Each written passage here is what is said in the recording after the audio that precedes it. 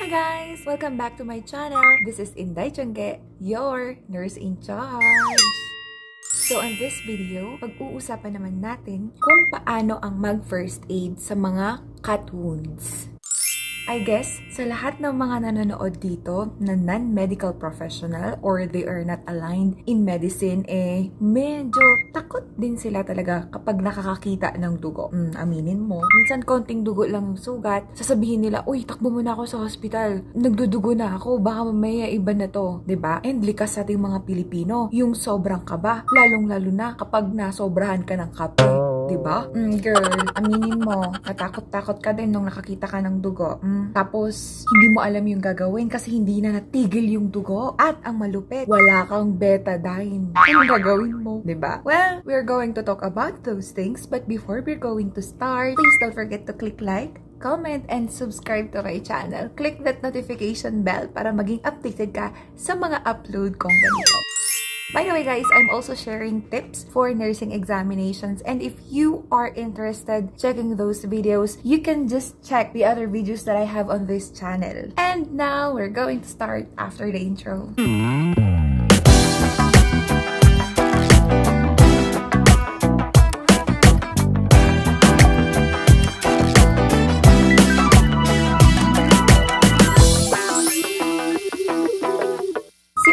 First aid lang naman yung ituturo ko sa inyo at paano iwasan ang mga complications ng sugat natin. Usually, hindi talaga natin maiiwasan ang disgrasya at sabi nga nila, ang disgrasya ay nandyan lang yan. Ngunit bilang isang matured naman na individual at nasa tamang pag-iisip, kailangan mong alamin to. Kasi lahat tayo nakakaranas ng disgrasya. Oh, sorry, huwag naman sana Lord, joke lang, joke lang. Joke lang, joke ba? Basta, ang ibig kong sabihin, hindi natin maiiwasan ang disgrasya. Kaya, yung paggagamot or yung pag-first aid, dapat malaman natin. Joke lang yun ha, joke lang. Eh kung na-disgrasya ka na, at least may ano ka na, ba? At kung may mga kaibigan kang ma masusugatan, ganun, o ba? At least alam mo na yung gagawin, 'di ba? This video, by the way, is inspired by the people in the province. Yan, sa lahat ng mga kabaro ko dyan sa Cagayan na laging nagtatanong sa akin na, Day, paano to gamitin, Day? Day, paano to gawin, Day? Day, nasugatan si ganito, Day. Day, pakicheck naman ng ganito, Day.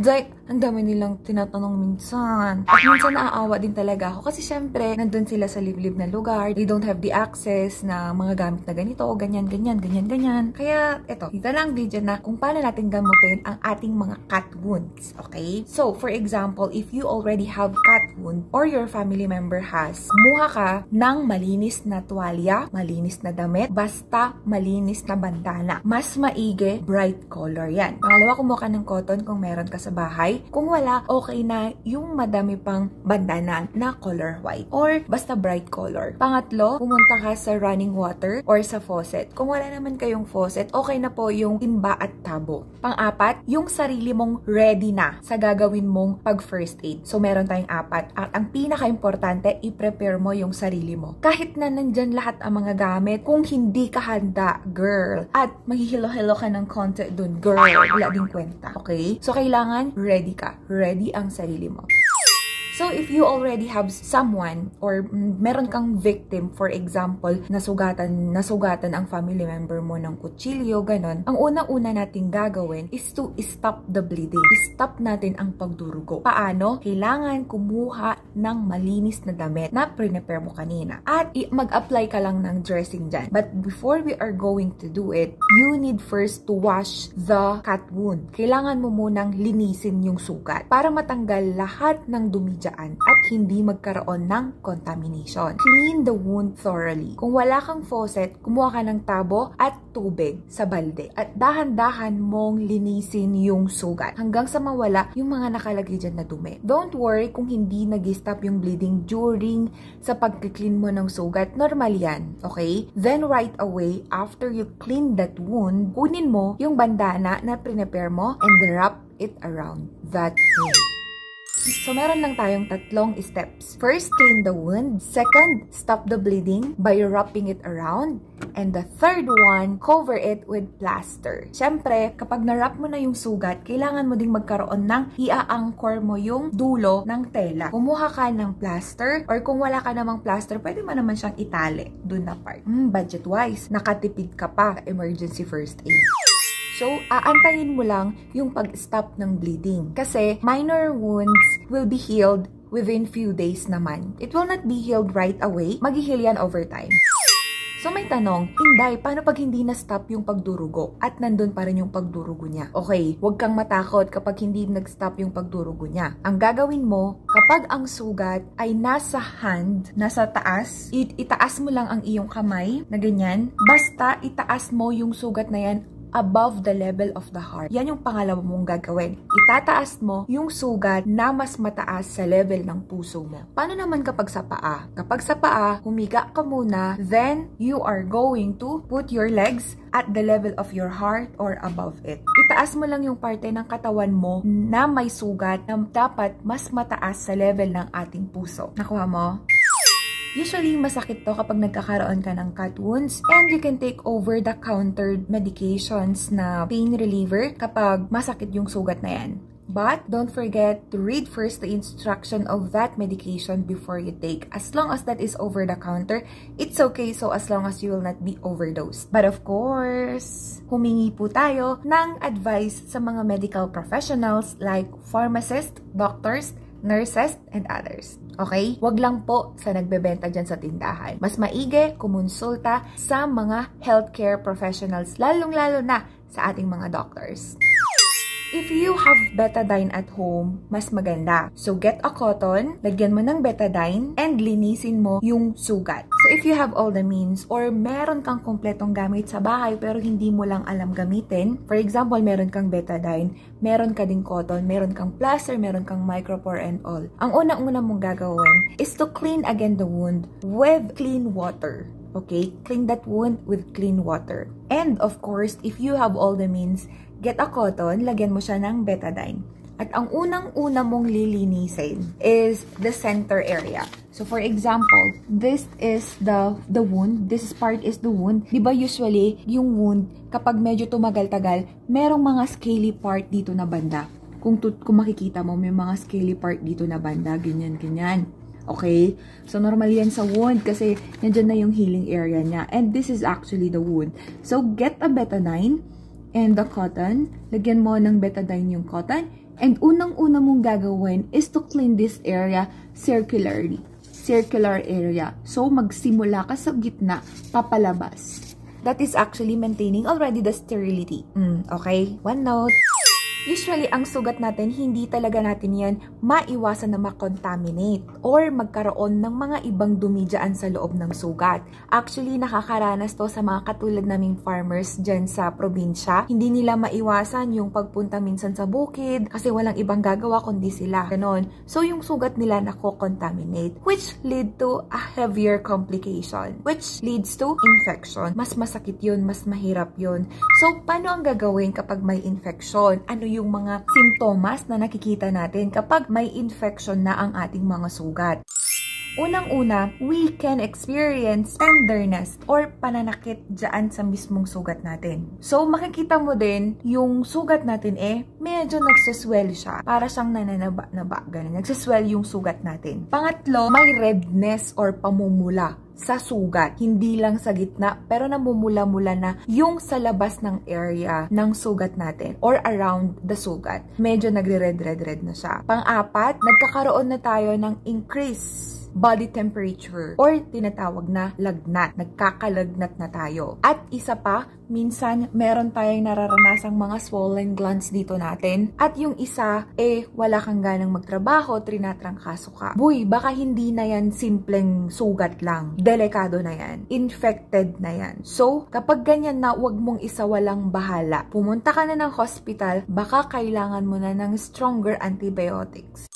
As I've mentioned earlier, ang mga minor sugat natin, nagda-dry and heal lang yan in a few days. Pero kapag few days na at hindi pa rin nagkakaroon ng solution dyan sa sugat mo, of course, kailangan mo nang magpakonsulta. Baka kasi hindi na yan simpleng sugat lang. Baka na-contaminate na yan. At baka kailangan mo na ng mga antibiotics. So, go to your nearest hospital para ipakita yung sugat na yan. Usually, magpapacheck po yung doctor natin ng ating mga dugo para tignan tingnan ang WBC natin. Okay? Ang WBC po na sinasabi, isa pong component yan ng dugo na tinitignan kapag ang katawan natin ay lumalaban po sa infection. So, wag po tayong magtataka kung bakit nag-o-order ang ating mga doktor ng mga laboratory examinations. Katulad ng complete blood count. Okay? Kasi tinitignan po nila yung level of WBC natin. So may tanong, nalinisan ko na yung dugo, naitaas ko na yung kamay ko, nabigyan ko na din yung pressure yung kamay ko, pero bakit hindi pa rin nagtitigil ang dugo? Girl, baka kasi habang naghihiwa ka, may natamaan kang artery. Ang artery po ay isa po sa ating mga blood vessels na daluyan ng ating dugo. Actually, ito po ay nagtataglay ng mga oxygenated blood na papunta sa ating mga systems. Okay? Yan po ay nabigyan na ng oxygen at ready nang gamitin ng ating mga systems. Meron tayong dalawa kasi dyan. Meron tayong vein and meron tayong artery. Napaka-delikado kapag ang nakat natin ay ang ating artery. Kasi ang lalabas na dugo dyan kapag ang artery ang ating natamaan ay pulso ng pulso ng pulso. Sobra yung pagpulso na nilalabas ng artery. Okay? Kapag nasugatan mo yung katawan mo, tapos sobrang reddish ng dugo, tapos tuloy-tuloy yung pagpustwak niya or paglabas niya ng dugo, baka artery yung natama tinamaan mo at delikado. Kasi kahit anong gawin mong pag stop ng bleeding minsan, eh mahirap. Mahirap siyang lagyan ng pressure. Mas mahirap kasing i-control yung bleeding na nanggagaling sa artery kaysa sa nanggagaling sa vein. At kung makikita mo, yung kulay ng dugo kapag naglabas ang artery is bright red color. Samantala, kapag vein yung natamaan mo, medyo dark red siya. So, that is already a medical emergency at kailangang immediately pumunta ka na sa doctor para at least magkaroon na ng first aid sa hospital. Like suture, baka nangangailangan na yan ng suture, kanon. So, when to go to the emergency department if and when you cannot control the bleeding. Secondly, kapag may natamaan kang artery. Ang pangatlo is kapag persistent yung pagkawala ng sensation sa area na yan. So, for example, nagkakat ka, tapos bigla mong nakat yung dito mo at medyo nahilo ka, ganon, nawalan ka ng konti ng pakiramdam, medyo delikado yun. Pang-apat is, kung tamado ang part ng facial area natin hanggang dito na part, dito. So, face hanggang sa ating dito na part. Sa pagtamado dito, napaka-importante nun. Why? Because our airway is on this area. Nandito po yung hingaan part natin. So, napaka-delikado po kapag may nakat or nagkaroon ka ng disgrasya, hindi lang sa kat ha, pati sa disgrasya, eh tamado ang mukha, kailangan mong magpakonsulta sa doktor. Emergency yan. At hindi yan dapat ipagsawalang bahala. Panglima is that if there is any foreign body, ito yung mga naglolokohan ng kutsilyo at, at biglang nasapol sa isang tao, napaka-important, wag na wag na wag mong tatanggalin yung foreign body or yung kutsilyo na yan sa isang tao. Baka mas delikado yung mangyayari dyan, girl. Naka-receive na ako ng pasyente, nasapul siya sa isang, ano yun, yung construction material.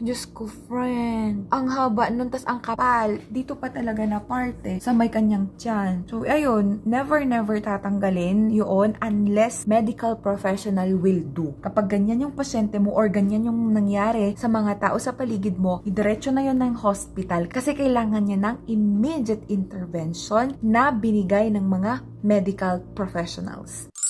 So, yun yung mga cases na kailangan nating itakbo ang pasyente sa hospital. Kasi ang mga pasyenteng to ay kailangan-kailangan na nila ng medical support and treatment na nanggagaling sa mga hospitals natin. So katulad ng sinabi ko kanina, napaka-importante po ang pag-iingat. Kasi ang aksidente ay nandyan lang yan. Pero kailangan nating mag-ingat.